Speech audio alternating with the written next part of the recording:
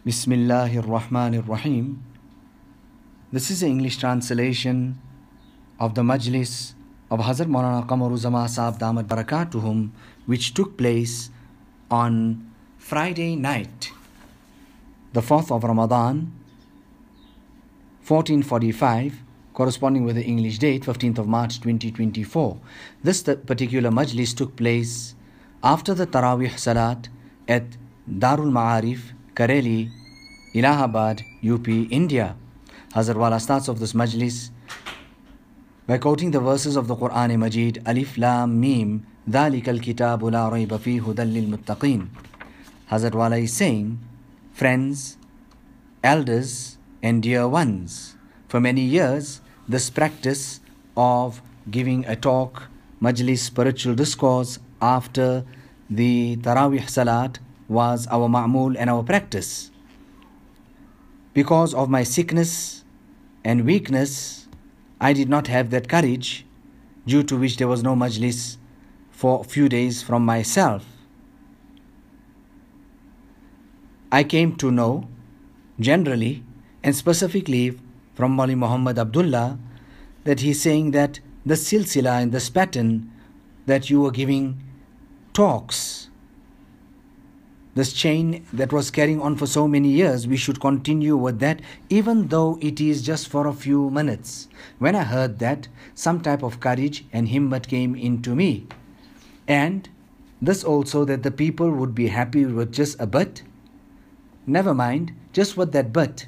But if people can make amal, Maulana Abrarul Haq, Maulana Muhammad Ahmad Saab, Maulana Ali Mia, they would all come to Baytul Ma'arif. And that's why I say that you should people should also go to Baytul Ma'arif and have a look at that place. That was the original uh, Markaz. Maulana Ali Mia also gave a mukhtasar and a concise talk. Maulana Abrarul Haq also. Our ulama have also given concise talks.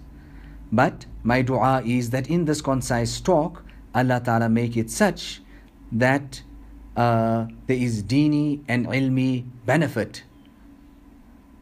Now here in this particular hadith, an Anas radiyallahu ta'ala an, narrated from Anas radiyallahu ta'ala an, he says that قال رسول الله صلى الله عليه وسلم that Nabi صلى الله عليه وسلم has mentioned rather he in, in, uh, uh, engaged with the Sahaba interacted with them istifsar asked them a question that Hal tadruna, tell me, do you know man ajwadu judan? That who is the most generous? You know, Hazrat Maulana Shah Wasiullah Saab used to also adopt this style. And he would ask questions. And there were great ulama that would sit there. It was like an imtihan. Ya Nabi sallallahu alayhi wasallam is also asking this question. And our ulama have also adopted this type of style from Rasulullah sallallahu alaihi wasallam. So here the question is asked. There is a style that's learned from Nabi sallallahu alaihi wasallam. The one who's being addressed is asked a question. If he knows it, well and good, he'll answer, and if not, he'll learn something.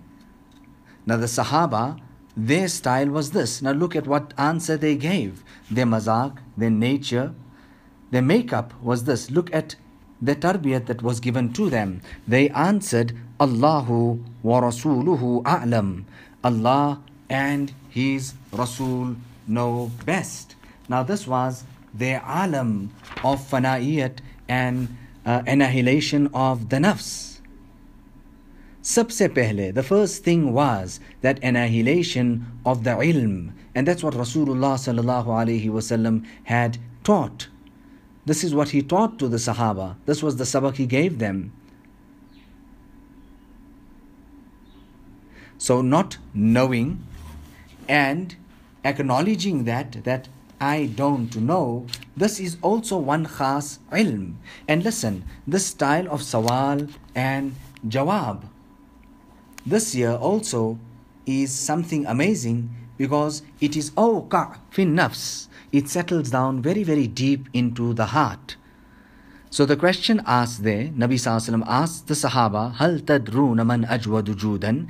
Do you know, tell me, who is the most generous? The Sahaba replied, Allahu wa Rasuluhu a'lam. Allah and His Rasul know, know best. Nabi Sallallahu then went on to give the answer by saying, Allahu Ta'ala ajwadu judan. Allah subhanahu wa ta'ala is the most generous. Look at this. Allah Ta'ala blessed us with existence. Allah blessed us with Iman. Allah Ta'ala, is this something small? regarding the generosity of Allah that He has granted us existence and after that He made blessed us with Iman. Allahu Akbar. Nabi Sallallahu thereafter goes on to say, Thumma ana ajwadu bani Adam. Thereafter I am the most generous of all the children of Adam.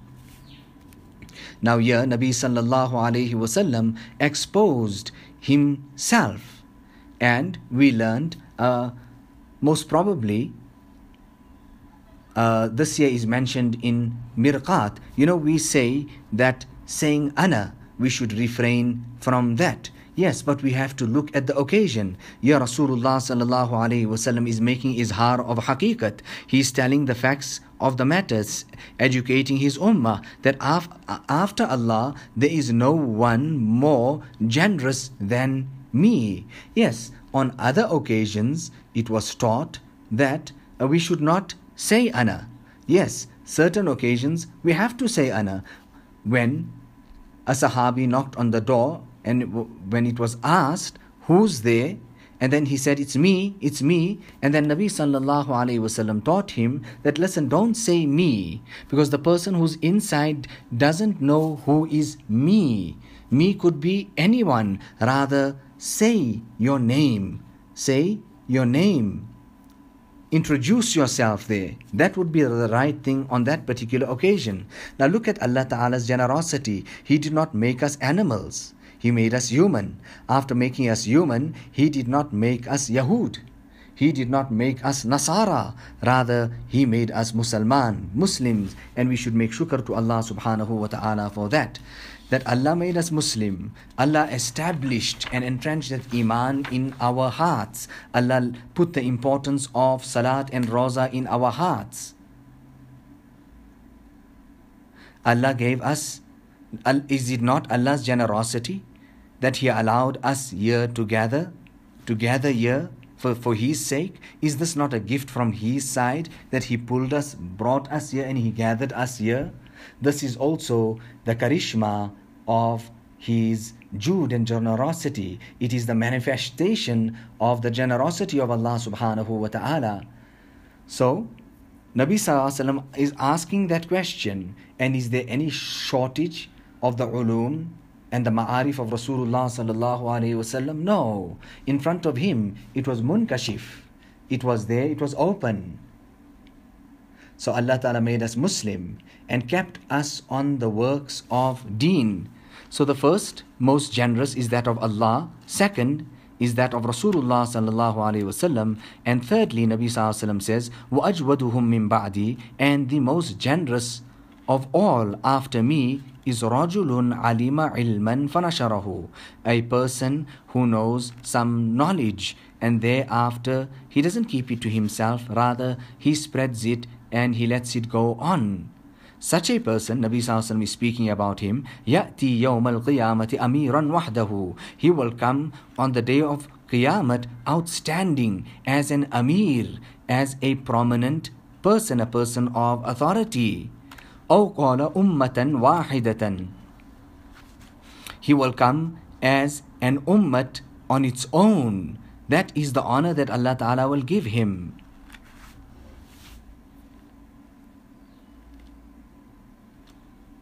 So Allah Ta'ala has given ilm. And what type of ilm? That ilm that lets us reach the ma'rifat of Allah subhanahu wa ta'ala, that is actually ilm. So therefore the ulama should also understand what a great ni'mat this is. So that person will come on the day of Qiyamah with all those people who are affiliated with him. He will come with his students, all those people who learned from him, his muttabi'een, his uh, murideen, etc. what is what can I say about myself? If you people were not here, I would have done this, that, and I would have went to go and sleep. But you people came, so it was the means of tawfiq for me. So it put me on to work, and I am passing on something to you. Allah Ta'ala give us the tawfiq and the hidayat of fulfilling this haqq. I am more in need than anybody else. Nevertheless, it was said to me that give some bayan. I am sitting now and I am reading this hadith to you. Allah Ta'ala give us the tawfiq. You know, tawfiq is something very, very great. People would leave and they would say to Hazrat Maulana Shah Wasiullah Sahab, Hazrat, we're going, but we'll come back in Ramadan. And then when Ramadan would come, they would not arrive. And then Hazrat Maulana Shah Wasiullah Sahab would look at me and say, See, these people said they are coming, and now they did not come. This matter is all about that of tawfiq, inspiration, and guidance from the side of Allah subhanahu wa ta'ala, which makes all of this possible. So, whichever work Allah ta'ala has handed over to us, we should do it in a most beautiful manner. Now, it's obvious you people are here and you don't have the luxuries which you have at home. And you people are just so happy like that. It is a great fortune for me and for my children to serve you. That you people have come for the sake of deen. And it is obvious for deen sometimes some and some mehnat you have to make. Now, this month actually is Wali Saz Maina. It is a month that will actually make you a, a Wali. Wali banane wala maina. So, Allahu waliyul ladina amanu.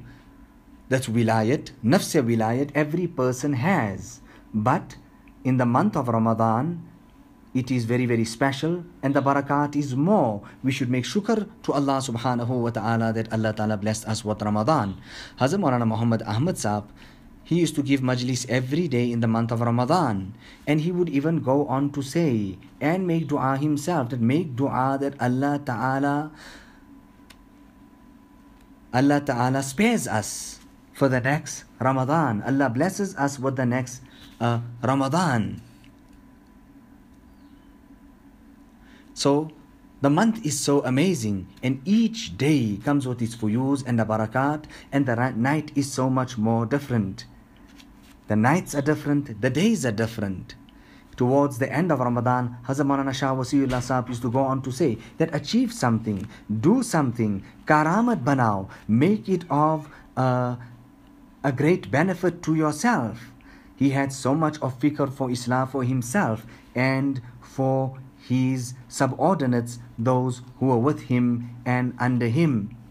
Allah Ta'ala give us the tawfiq and the hidayat of keeping the ta'limat of the Buzurgan Deen in front of us. So why has Ramadan come? So that Allah walo ki ta'alluq, Allah se jur. So that the people of Allah, the men of Allah, their connection with Allah can be reconnected, it can become stronger and uh, they can move forward. So the Quran was revealed in the month of Ramadan.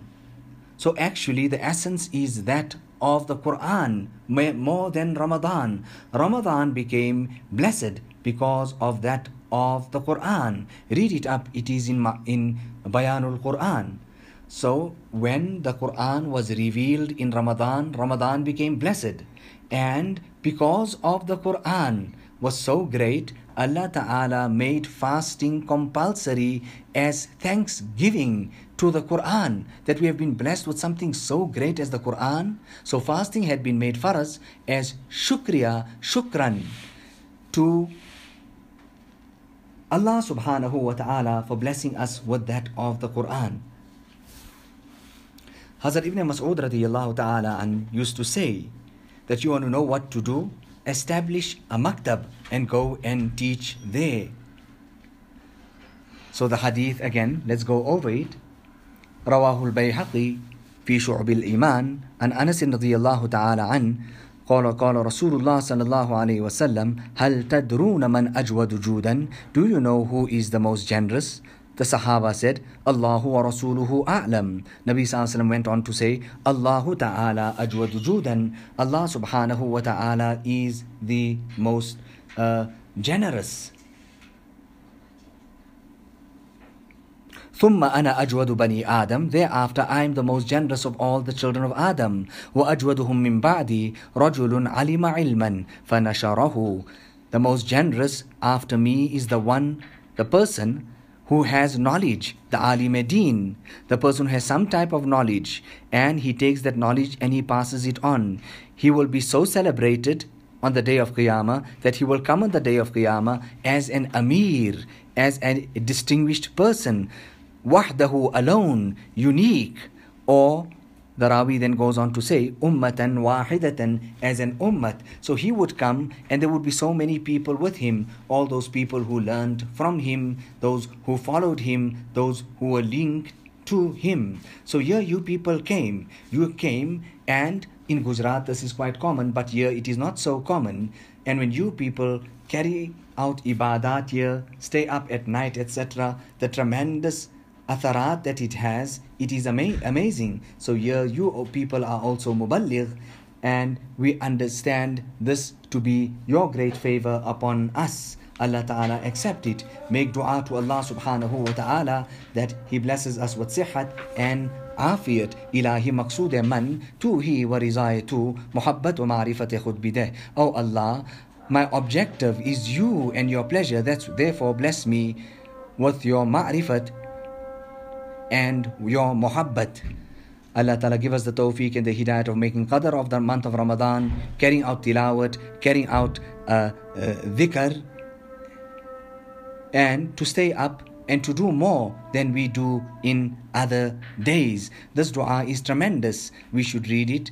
Uh, It is the khas uh, wazifa of the Mashayikh Naqshbandiya and in between our azkar we should also read this dua. ربنا تقبل منا إنك أنت السميع العليم. وتب علينا إنك أنت التواب الرحيم. بحرمة سيد النبي الكريم صلى الله عليه وسلم.